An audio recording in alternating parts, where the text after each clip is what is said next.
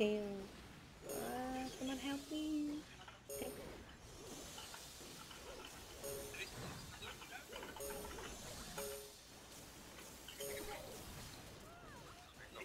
Yeah, Ariel got it.